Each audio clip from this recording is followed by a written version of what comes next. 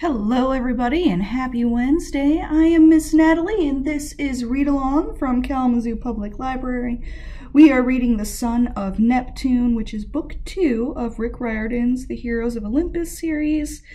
And when we finished up yesterday, Frank, Hazel, and Percy had just gotten to Frank's grandmother's house. They managed to get through the Laestrygonian ogre things that you'll might remember from I think it was in like the Sea of Monsters. It was when Percy like burned down his new school. Anywho, let's get right into it because I'm really curious to see what it's like at grandmother's house. Here's my contact information if you need it. Chapter 34 Frank they stopped at the front porch. As Frank had feared, a loose ring of campfires glowed in the woods, completely surrounding the property, but the house itself seemed untouched. Grandmother's wind chimes jangled in the night breeze. Her wicker chair sat empty, facing the road. Lights shone through the downstairs windows, but Frank decided against ringing the doorbell. He didn't know how late it was, or if grandmother was asleep or even home. Instead, he checked the stone elephant statue in the corner, a tiny duplicate of the one in Portland. The spare key was still tucked under its foot. He hesitated at the door. What's wrong? Percy asked. Frank remembered the morning he'd opened this door for the military officer who had told him about his mother.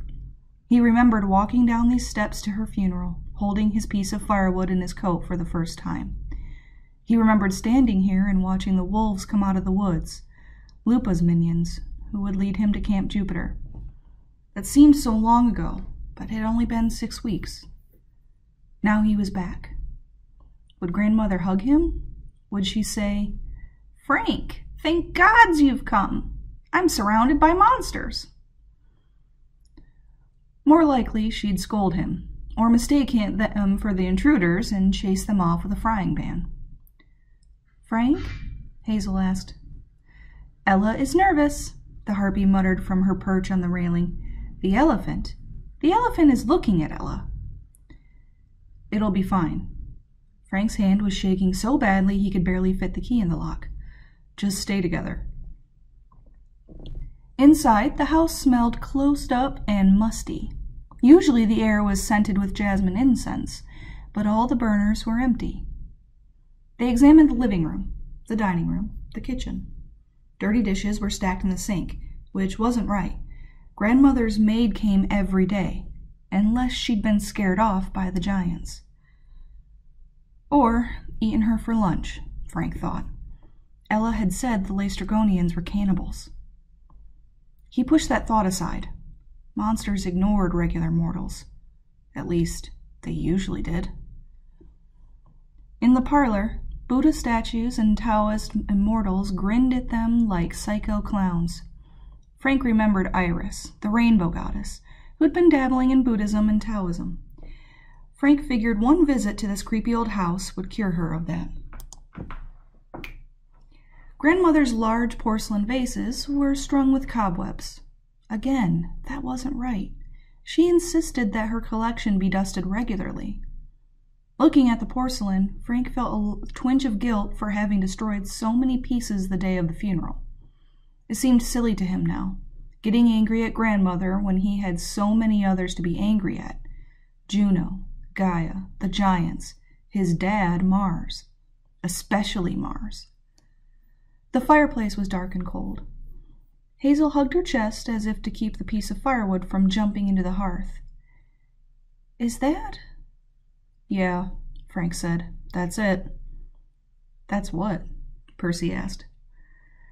Hazel's expression was sympathetic, but that just made Frank feel worse.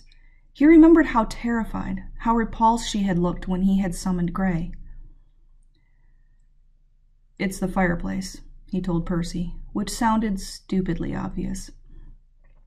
Come on, let's check upstairs.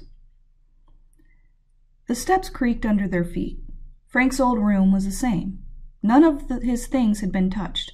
His extra bow and quiver, he'd have to grab those later, his spelling awards from school.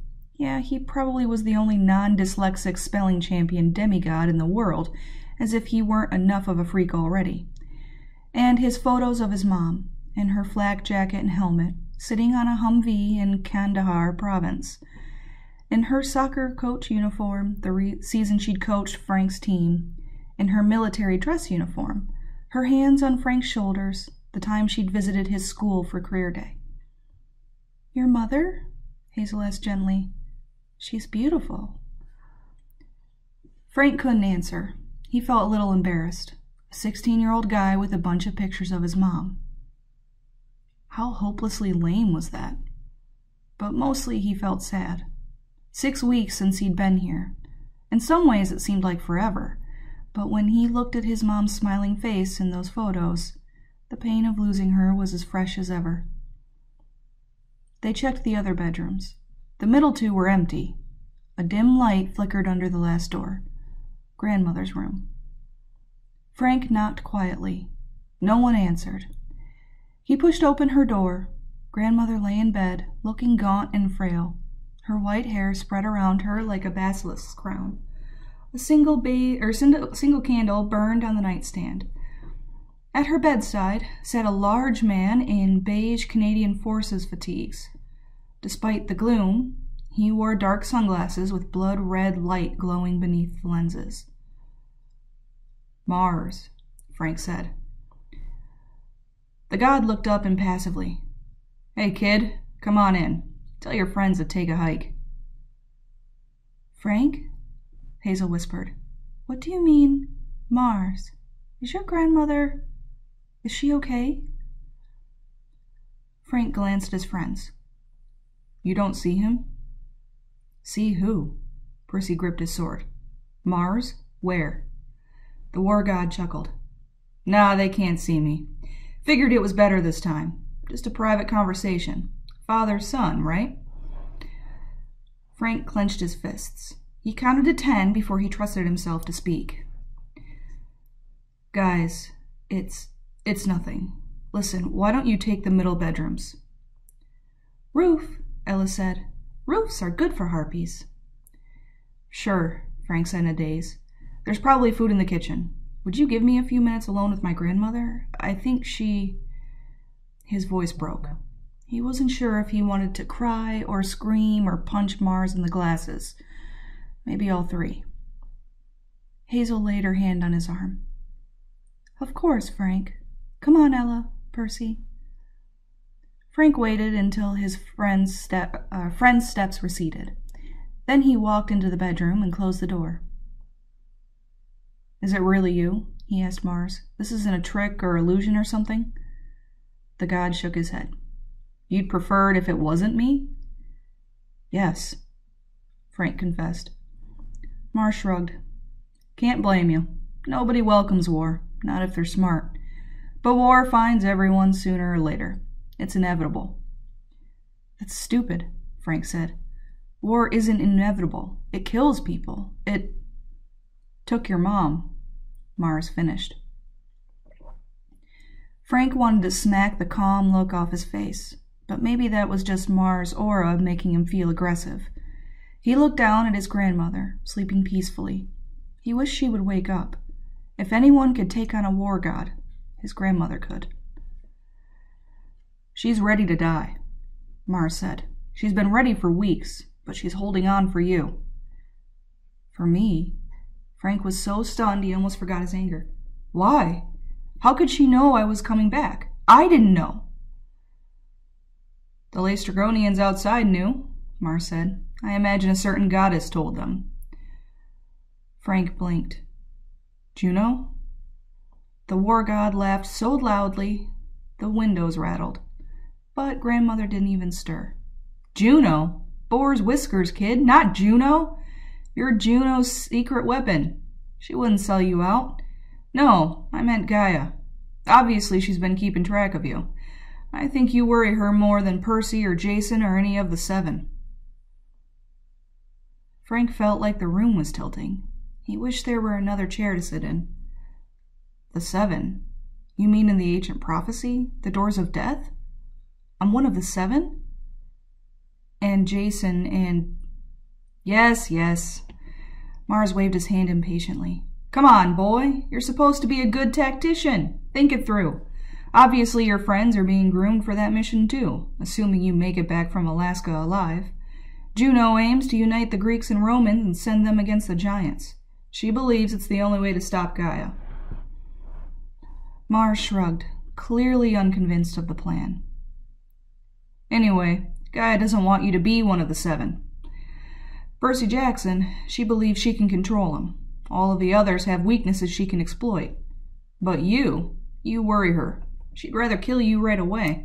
That's why she summoned the Laestrygonians. They've been here for days, waiting. Frank shook his head. Was Mars playing some kind of trick? No way should a goddess be worried about Frank, especially when there was somebody like Percy Jackson to worry about. No weaknesses, he said. I'm nothing but weaknesses. My life depends on a piece of wood. Mars grinned. You're selling yourself short. Anyway, Gaia has these Laestrygonians convinced that if they eat the last member of your family, that being you, they'll inherit your family gift. Whether that's true or not, I don't know, but the Laestrygonians are hungry to try. Frank's stomach twisted into a knot. Gray had killed six of the ogres, but judging from the campfires around the property, there were dozens more, all waiting to cook Frank for breakfast. I'm going to throw up, he said. No, you're not. Mars snapped his fingers, and Frank's queasiness disappeared. Battle jitters. Happens to everybody. But my grandmother. Yeah, she's been wanting, waiting to talk to you. The ogres have left her alone so far. She's the bait, see? Now that you're here, I imagine they've already smelled your presence. They'll attack in the morning. Get us out of here, then, Frank demanded. Snap your fingers and blow up the cannibals. Ha! That would be fun. But I don't fight my kids' battles for them. The Fates have clear ideas about what jobs belong to gods and what has to be done by mortals. This is your quest, kid. And, uh, in case you haven't figured it out yet, your spear won't be ready to use again for 24 hours. So I hope you've learned how to use the family gift. Otherwise, you're going to be breakfast for cannibals. The family gift. Frank had wanted to talk with grandmother about it but now he had no one to consult but Mars. He stared at the war god, who was smiling with absolutely no sympathy. Periclymenus. Frank sounded out the word carefully, like a spelling bee challenge. He was my ancestor, a Greek prince, an Argonaut. He died fighting Hercules. Mars rolled his hand in a go on gesture. He had an ability that helped him in combat, Frank said some sort of gift from the gods. My mom said he fought like a swarm of bees. Mars laughed. True enough. What else? Somehow the family got to China. I think, like in the days of the Roman Empire, one of Periclymenus' descendants served in a legion. My mom used to talk about a guy named Seneca Gracchus, but he also had a Chinese name, Sun Guo. I think, well, this is the part I don't know. But Reyna always said there were many lost legions. The twelfth founded Camp Jupiter. Maybe there was another legion that disappeared into the east. Mars clapped silently. Not bad, kid. Never heard of the Battle of Carrhae? Huge disaster for the Romans. They fought these guys called the Parthians on the east border of the empire. Fifteen thousand Romans died. Ten thousand more were taken prisoner and one of the prisoners was my ancestor Seneca Gracchus? Exactly, Mars agreed. The Parthians put the captured legionnaires to work, since they were pretty good fighters. Except then Parthia got invaded again from the other direction.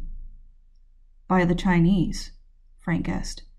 And the Roman prisoners got captured again. Yeah, kind of embarrassing. Anyway, that's how a Roman legion got to China.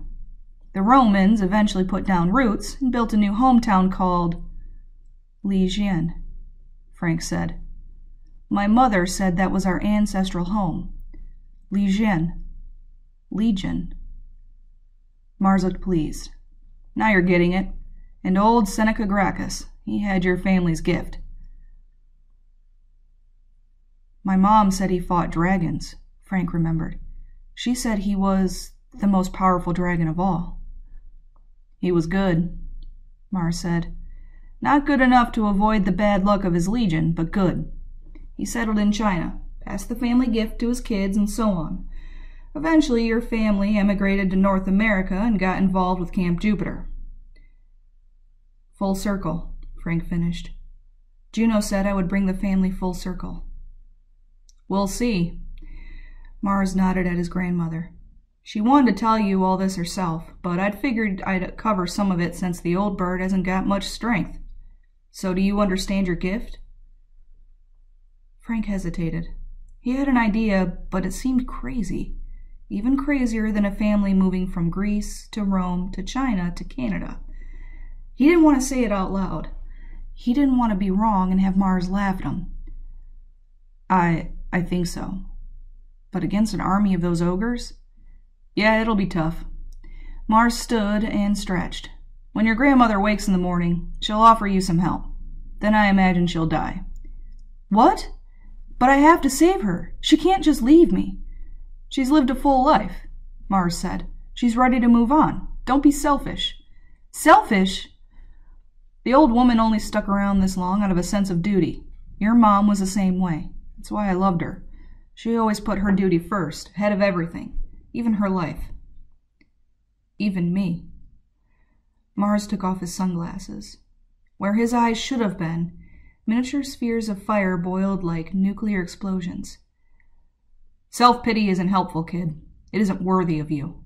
Even without the family gift, your mom gave you your most important traits bravery, loyalty, brains. Now you've got to decide how to use them. In the morning, listen to your grandmother. Take her advice. You can still free Thanatos and save the camp. And leave my grandmother behind to die. Life is only precious because it ends, kid. Take it from a god. You mortals don't know how lucky you are. Yeah, Frank muttered. Real lucky. Mars laughed, a harsh metallic sound. Your mom used to tell me this Chinese proverb Eat bitter. Eat bitter, taste sweet, Frank said. I hate that proverb. But it's true. What do they call it these days? No pain, no gain? Same concept. You do the easy thing, the appealing thing, the peaceful thing. Mostly it turns out sour in the end. But if you take the hard path, ah, that's how you reap the sweet rewards. Duty, sacrifice. They mean something. Frank was so disgusted he could hardly speak. This was his father? Sure, Frank understood about his mom being a hero. He understood she'd saved lives and been really brave. But she'd left him alone. That wasn't fair. It wasn't right. I'll be going, Mars promised. But first, you said you were weak. That's not true. You want to know why Juno spared you, Frank? Why that piece of wood didn't burn yet? It's because you've got a role to play. You think you're not as good as the other Romans. You think Percy Jackson is better than you. He is, Frank grumbled. He battled you and won. Mars shrugged. Maybe, maybe so. But every hero has a fatal flaw. Percy Jackson? He's too loyal to his friends. He can't give them up, not for anything. He was told that years ago, and someday soon he's going to face a sacrifice he can't make. Without you, Frank, without your sense of duty, he's going to fail. The whole war will go sideways, and Gaia will destroy our world. Frank shook his head. He couldn't hear this. War is a duty, Mars continued. The only real choice is whether you accept it and what you fight for. The legacy of Rome is on the line.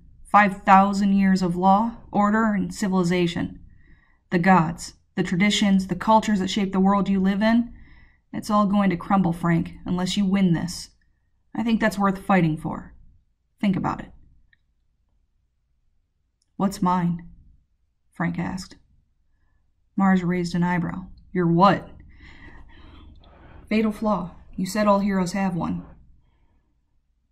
The god smiled dryly. You gotta answer that yourself, Frank. But you're finally asking the right questions. Now, get some sleep. You need the rest.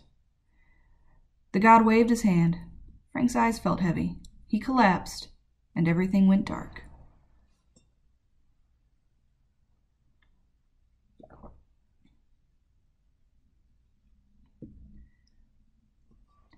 Fai, said a familiar voice, harsh and impatient. Frank blinked his eyes. Sunlight streamed into the room. Fai, get up! As much as I would like to slap that ridiculous face of yours, I am in no condition to get out of bed. Grandmother? She came into focus, looking down at him from the bed. He lay sprawled on the floor. Someone had put a blanket over him during the night and a pillow under his head, but he had no idea how it happened. Yes, my silly ox. Grandmother still looked horribly weak and pale, but her voice was as steely as ever. Now get up. The ogres have surrounded the house. We have much to discuss if you and your friends are to escape here alive. Aw, I like grandmother. I also kind of like Mars. Like, not a lot, but some of what he says makes sense. So, Everybody have a great day, and tomorrow we'll read chapter 35.